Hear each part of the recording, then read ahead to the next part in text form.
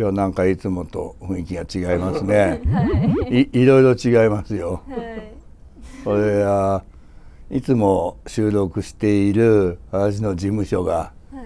い、今全館ベランダ工事中で やかましくてしょうがないということでですね、えー、都内某所で えー、撮ってるんですけども勝手がいろいろ違ってやりにくい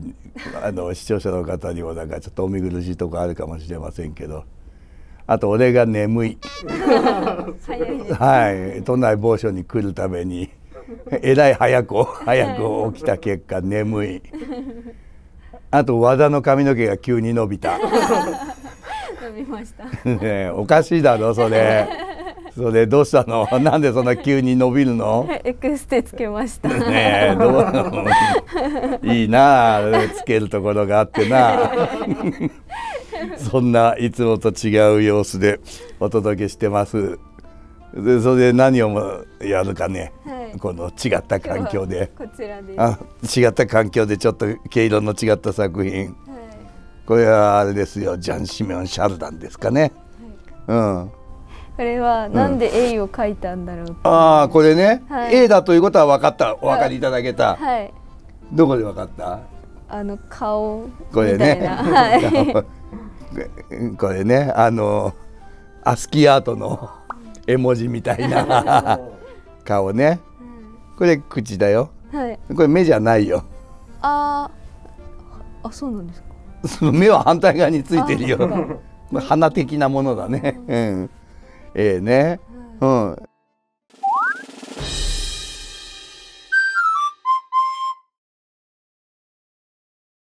なんで絵を描いたか？これは食材だからですよ。食材として描いた。食材として描いた食材ですよ。フランス料理で絵ありますよ。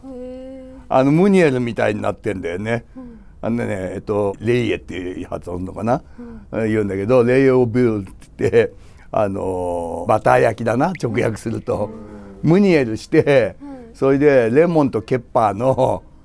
あのムニエルしたバターにレモンとケッパー入れて作ったソースかけて食べるやつ、美味しい結構。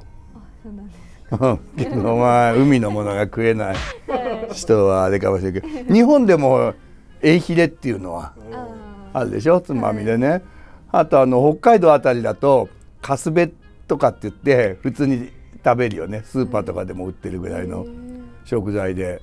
煮付けにしたりして食べますよ。だからあのこれ食材なんですよ。食材だから書いたんですよ。でこれだから台所なんですよ。こういう台所を書く、まあ、日本語で厨房が。台所のことは厨房っていうだろ。う、だから厨房画というジャンルが西洋絵画にあるわけですよ。でそれをスペイン語でボデゴンって言うんですよ。ボデゴンボディコンじゃないよボデゴンボデゴン。でねえっとねあれスペイン語でボデーガっていうのが酒蔵とか居酒屋の意味なんだよ。それでスペインではこの生物画っていうと、まあ、そのそういうその厨房を描く絵が多かったんでもう生物画全般をボデゴンって呼んだりしてるわけ、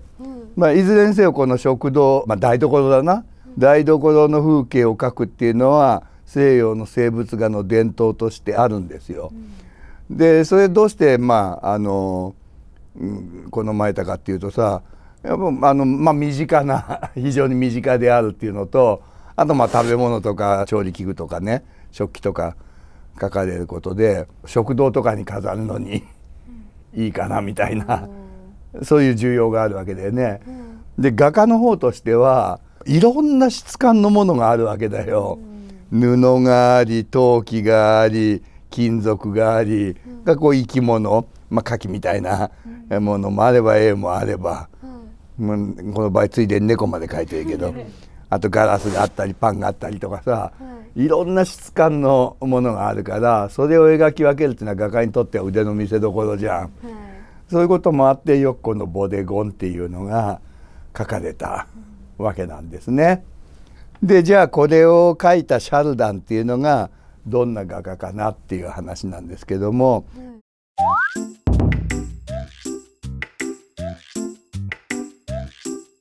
このジャン・シメオン・シャルダンはいわゆるロココフランスのロココ期の画家なんですよ。ロココといえば前やりましたよね。このフラゴのある、この谷崎潤一のプレーで 遊んでるふざけたやつらですよ。こういうもうチャラいチャラい絵ばっかりが 流行ったロココ。ね。その時代にこれですよ。面白いのはこのフラゴナールこのフラゴナールは、まあ、あのブーシェっていう人のね弟子として有名なんだけども、同時にシャルダンにも習ってるんだよ。でこのだからフラゴナールにとっての2人のお師匠さんブーシェとシャルダンっていうのが、まあ、ロココを代表フランスのロココを代表する画家なんだけどまあまるで正反対なの。でブーシェっていう人はね、シャルダンが厨房画が得意だとしたらブーシェは警棒画が得意なんだよ。警棒。ベッドルーム。こんな。こんな感じなのよ。肩や台所。寝室か台所。ねこの対象。でブーシェは王室好きの画家として貴婦人を描くわけですよ。こポンパドゥール夫人ねルイ15世の愛人だったポンパドゥール夫人。それに対してシャルダンは庶民の女性を描く。これ買い出しから帰ったお手伝いさんっていう絵なんだけどもうめちゃめちゃ生活感のある今いろいろ買ってきましたよでっかいパンも買ってきましたよ野菜も買ってきましたよってなんかうさぎっぽいだからなんだかしらんけどなんか出てますよと。これまた台所だよね。もう貴婦人と庶民。ね。ベッドルームと台所。で本人たちもこれがブーシェの肖像画。まあいかにもロココのもう貴族かよって感じでしょ。貴公子でしょ、で一方シャルダンはこれど どこのどこの農家のおじさんだよっていう感じでしょ、はい、結構これ生涯こんな感じなんだよこの人。このようにねめちゃめちゃ対照的な2人なんですよ。巨人の星で言えば花形満と左門豊作なんだよ。わわからないですか、花形モータースの御曹司花形満と熊本の農家の 兄弟がたくさんいる左門豊作みたいなそんな感じ同じ時代にだからロココはチャラいばっかりじゃないんだよこういう人もいたんだよ。そしてフラゴナールはこんな対照的な2人に習ってるんだよ。だからフラゴナールにとって多分このチャラいチャラいこういう絵はブーシェ師匠の伝統ね。でフラゴナールの回に見たと思うけどこういう絵も描いてるわけだよ。これはやっぱりこのこちらのシャルダン師匠の影響があったんじゃないかなというふうに思うわけなんですけどもまあこんなシャルダン師匠ロココにはこういう画家もいたんですよという話なんですね。こんな顔でこうやって庶民を描き台所の絵を描いたと。このシャルダンなんですけども、まあ、この人がまあどんな人かっていうね、はい、ところからちょっと簡単に話していこうと思うんですけど。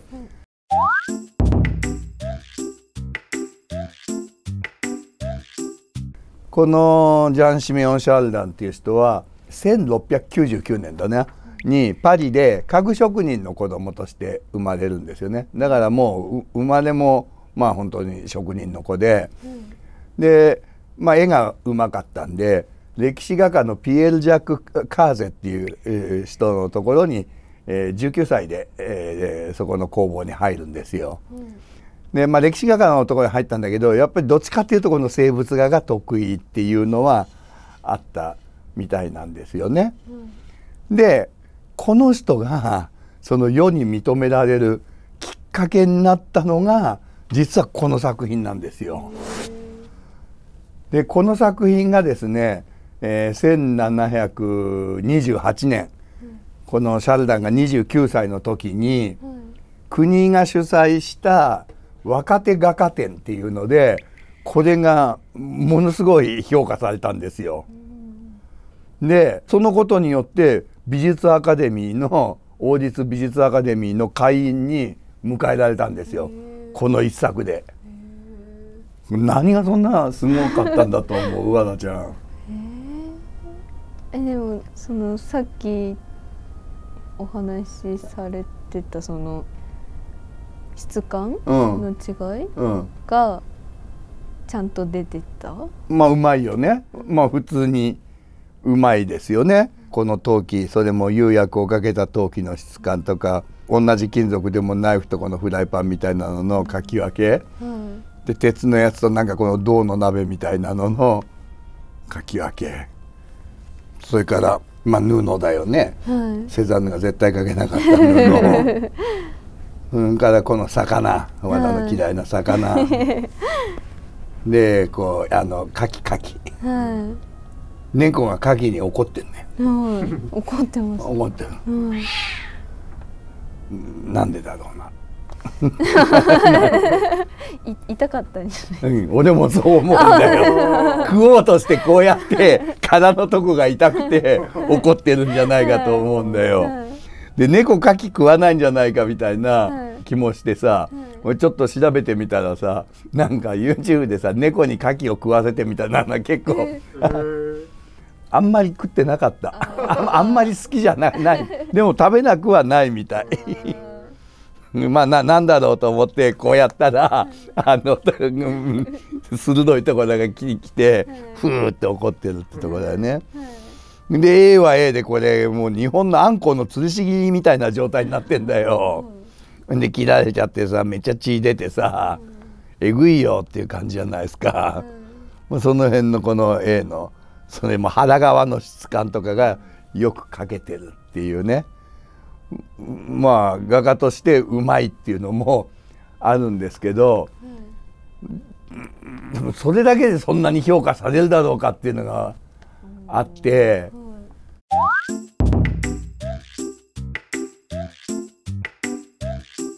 でこれはもう俺の個人的な想像なんですけど実はこの若手画家展っていうのがね毎年あのカトリックの生体の祝日っていうのがあるんだけど、うん、コルプス・クリスティっていうんだけどその日に行われるのよ。うん、でこの生体の祝日ってあの年によって年によって日にちが変わる移動祝祭日なんだけど、うん、だいたい5月の末から6月の前半ぐらいに行われるんだよね。で生体って何よってこれコルプス・クリスティってぐらいでキリストの体っていうことなんだよ。生体っていうのはあのカトリックのおミサの時に、まあ、あの生体パンをこんなせんべいみたいなのもらうでしょ、はい、あれ必ずキリストの体って言ってもらうわけだよ。うんこれはあのね最後の晩餐でやった時に、キリストがパンを剥がれてこれが私の体であると。でワインがこれが私の血であるってみんなに分け与えたと、はい、でそのまあ儀式をみんなで繰り返すっていうことでミサでやるんだけどまあその生態だよね。だから人々を現在から救うためにまあ自分の体を犠牲にして十字架にかけられてで血を流しそのことで人々の現在をあがなってくれたイエス・キリストのまあその肉体体生体を崇める日なんだよ。その日にこの若手画家展が開かれるんだよ。でそこでこれがすごく評価されたと、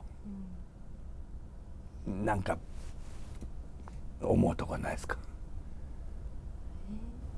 あ、人々の現在を贖うために十字架にかけられて血を流すことで。ああ映画。同じ状況。そうだと思うんだよ。そこだと思うんですよで絵必ずしも吊るし切りにしなくてもいいと思うんだよ。あのあんこはさ体がぐずぐずだからさ あの吊るし切りにしないとさばきにくいんだよね。まな板の上を置いちゃうともうグズグズになっちゃって、はい、あれだけどだけど A はもうひれんとこバンバンって切っちゃえばいいわけだから必ずしも吊るし切りにしなくてもいいと思うんだけど吊るされてるんだよね。まあ、これは場所のあれで吊るしてるのかもしれないんだけどで吊るされて花が咲かれてそこからものすごい血が出てる。こんなに血出さなくてもいいだろうっていうぐらい血が出てる。でこんなに書かなくてもいいだろうっていうぐらい書いてる。これは今和田が気づいたようにこれはある種やっぱり十字架にかけられて血を流したキリストの象徴なんとなく形も十字架が正しみたいなとしての意味を持ってんじゃないかと。だからこそその生誕の記念日に行われた若手画家展で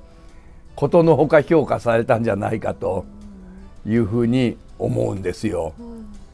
で実はこれシャルダンに限らずこのボデゴン厨房画でその吊るされた食材みたいなものにその十字架のキリストをなんとなく象徴させるっていう手法っていうのはこれまた結構伝統的にあるんだよね。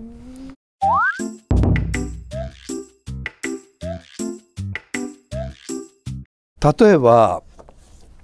これはレンブラントなんだけど、レンブラントもこれ皮を剥がれた牛、なんでこんなもん描くんやと、わざわざいう話じゃないですか。これもやっぱり形的にも内容的にもやっぱりある種この十字架ここに十字架上のキリストを見るわけですよ。だからこういうのただの残酷な絵じゃないんだよね。だそれこれね一つ覚えておくとあのこのこういう厨房を描いたボデゴン西洋絵画のよく出てくんだよ。でうさぎだったりさいろんなもんが吊るされてんだよ。いろんなもんが吊るされて血流してるんだよ。だもう西洋人は残酷だから嫌だよとかさ肉食ってるやつはこれだから困るよとかって言うんだけどそれはただ残酷で書いてるんじゃなくってまあある意味そういう残酷な死をもって人類の現在をあがなってくれたイエス・キリストの姿をそこに見てるっていうのをね理解しておいていただけるとちょっとあの理解が深まるんじゃないかなというふうに思いますね今日はもうそれだけ覚えてもらえば十分なんだよ こう大体こう吊るされて血を流してる食材は結構イエス・キリストだよっていうことを覚えてもらえれば今日は十分だと思うんですけどね。まあ、とにかくこれでシャルダンは美術アカデミー会員に迎え入れられたんですよ。で会員になりましたっていうのを記念して書く作品があるんだよね。会員になった時に書く作品。それがこれなんですよね。ビュッフェっていう。ビュッフェってまあこういう軽食用のこういうテーブルのことなんだけど、だから今もビュッフェスタイルとかって言うでしょ。でこれはだからこれであの美術アカデミーの会員になったっていうのがあるからやっぱり意識しててこっちの猫に対してこっちは犬とか、でこっちのこの魚介類に対してこっちはこの果物、野菜類とかこっちの陶器に対してこっちはガラスとか、意識してこうなんとなく対になるように書いてねでこっちは台所でこっちはだからここで作ったものをこう出した 場所じゃない。すごくこの対になることを意識して書いてるんじゃないかなと思うんですよね。だこういうふうにこれはどういうふうなタイミングで書かれたのかなこれで美術アカデミーになった会員に迎え入れられた。でその記念に描いた絵ですよ。美術アカデミー提出した絵ですよって。いうのが分かるとああだからそういう対象になってんだなんてことがね分かったりするっていうことなんですけどね。うん、まあこれであの以降ですね順風満帆なんですよ。で結構このシャルダンをプッシュしてくれたのが意外にもこの方なんですよポンパドゥール夫人。でこの人はだからそのルイ15世の愛人でねもう実質こう政治を動かすぐらいのとこまで来た人ですけどもそういう政治を動かしたりなんかしたぐらい非常に聡明な人なんですよ。もともとこの人はあのまあお金持ちの銀行家の娘とはいえ平民の出身なわけですよね。そこからそのルイ15世の愛人になって公爵夫人のあの称号ももらってでもういろいろ政治を司るぐらいになったぐらいなんですけど非常に頭のいい人だっていっぱい本必ずだからポンパドゥル夫人って言うと本持って書かれてるんだよ。すごくたくさん本読んで頭のいい人でいろんなものを保護したわけですよ。であの当時工場を建てさせてセーブルだったかな？リモージュだったかどっちか忘れたけど建てさせてみたりとかあとアーティストを支援したりとか本当だったらその王政をさひっくり返すような革命思想になるはずの啓蒙思想だよね。えそれも保護して百科全書の編集とかポンパドール夫人の,、まあその講演があってディドロたちはやったっていう、まあ、そういう非常にリベラルな人なんですよ。でその一方でほらあのロココのさあざといい技の数々、はい、わざとハンカチ落として拾わせるみたいなこの人が始めたみたいな説もあったりだからロココっていうのはチャラい一方でそういう非常にリベラルな時代でもあったんだよね。だからチャラいがゆえに逆に何て言うのかな。いやそれちょっと王室的にまずいでしょみたいなこともやっちゃうっていう。でまあ結局それで自分の首絞めるんだけど、いやいいじゃないですかと。シャルダンいいじゃないですかと。庶民は絵食べますよみたいな。そういうねこういう記録としてもね生活史としても素晴らしいじゃないですかみたいなそういう一面もあったわけですよ。だから例えばあの悪夢高い革命のねあの引き金になったマリー・アントワネットもさ、はい、あのボーンマンシェの「フィガロの結婚」っていう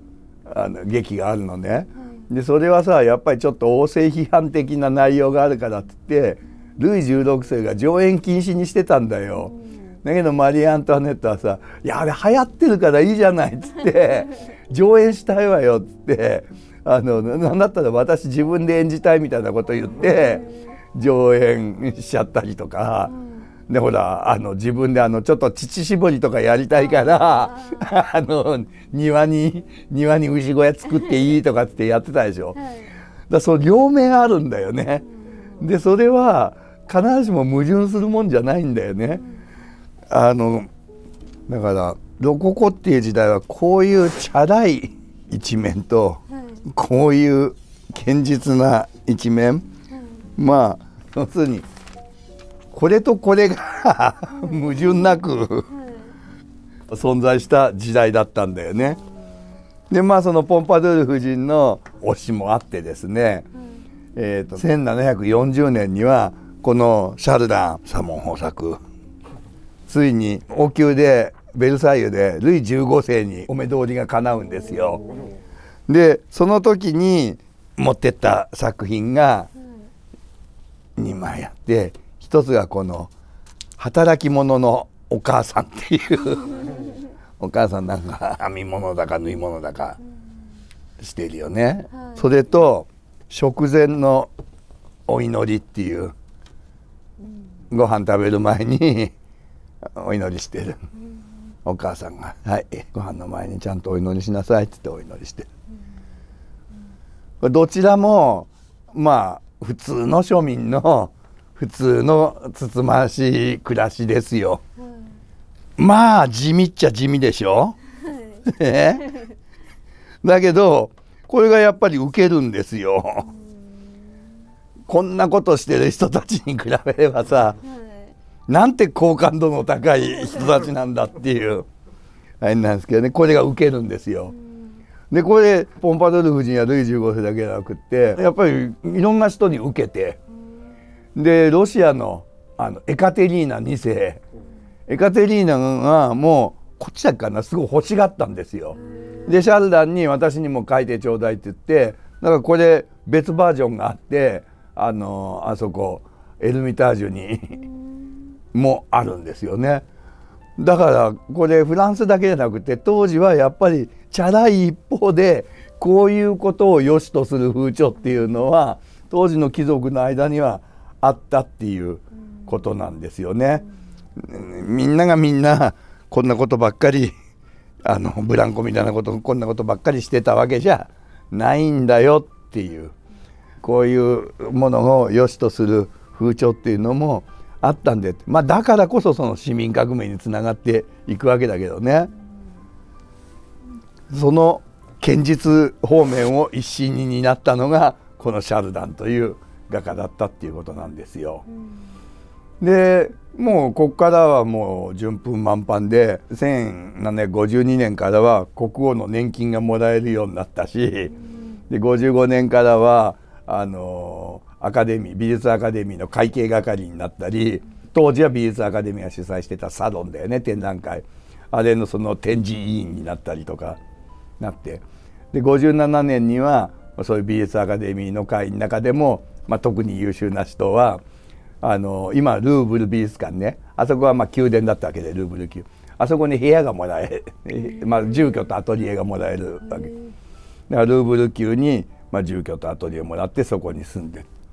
いう。まあフラゴナーリアなんかも後に同じルーブル級に住居もらうんだけどね、うん、そういうふうに、まあ、順風満帆な暮らしをしてたんだけれども1764年にポンパドゥール夫人が亡くなったあたりからやっぱりだんだんちょっと運気が低下してくる。でこの人のもう唯一最大の悩みの種はどうも息子だったみたいなんですよ。でえっとね息子がねジャンピエールっていうやつなんだけど、このジャンピエールはもうだからお父さんと同じ画家になろうとして勉強してたんだけど結構優秀で、あの例のローマ賞イタリアに留学できる、ローマ賞を取ってるのよ。なんだけどシャルダンはあいつはダメだってずっと言ってんの。であんなやつイタリアに行かすとろくなことにならないからイタリアに行かせちゃダメだって言うわけ。でまあそのどうしてかっていうのはあの記録もあまり残ってないから知る由もないんだけど一応腕はあったのにそう言うってことはやっぱり正確に問題があったんじゃなんかこれ俺の想像ではチャラ男だったと思うんだよ。息子このお父さんだから、ああのチャラ男ダメだと。あいつ世の中なめてると。ちょっと絵がうまいからっつってね世の中なめとるとあんなやつイタリアにやったらろくなことにならんって言ってた。で案の定だったんだよ。でこの息子イタリア行って1772年ベネツィア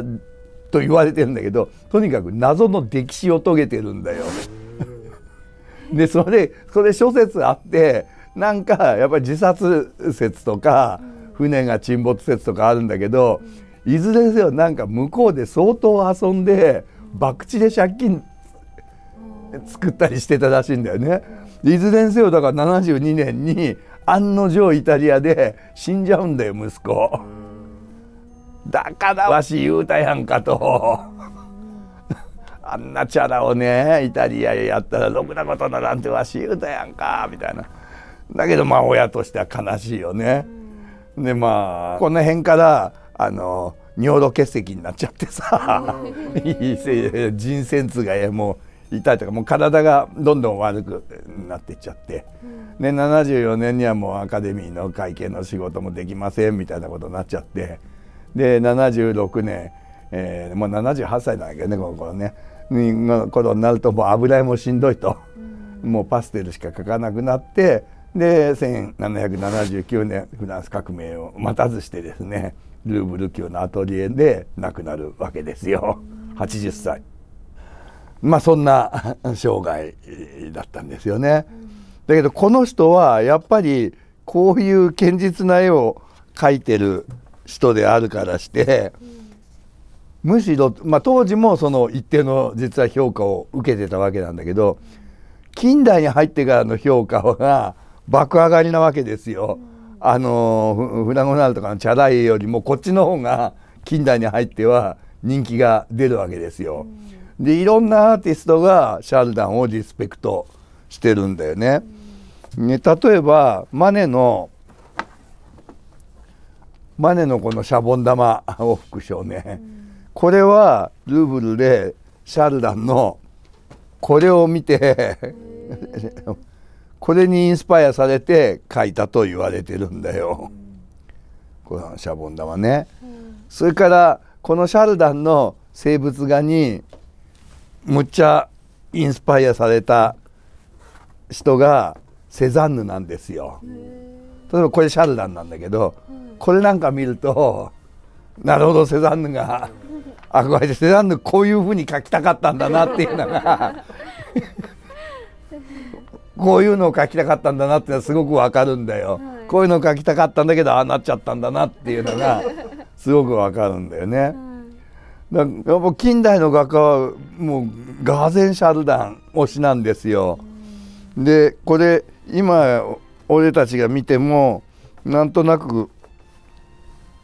我が国でもフェルメールとかに通じるもんがあるんだよね。あの普通の市民の日常を柔らかな光で描いてる。バロックみたいなどぎつい明暗対比でもないしロココみたいなチャラい感じでもない。普通の市民の暮らしを描いててまあ今買い物行ってきたのよみたいな誰もが感情移入できるようなテーマを今でもねそれを18世紀の時点で描いていたでそのことによってかえって近代に評価の高い画家ということですね。だけどその一方でこういう作品の中にもそのイエス・キリストの十字架上のイエスみたいなそういう偶意を秘めるっていうねこの辺はやっぱりもう近代にはなくなっちゃった部分だよね。これやっぱり18世紀の画家ならではっていうところもあるっていうことなんですね。だから今回覚えておいてほしいのはこういうよく西洋絵画のボデゴンで出てくる吊るされた食材血まみれの食材っていうのは結構十字架上のイエス・キリストを寓意してるんだよっていうことそれからロココっていう時代はチャラいだけじゃなかったと意外にその堅実な市民生活もいいじゃないっていうようなそういうメンタリティを持った文化だったっていうねこの2点を覚えておいていただければと思います。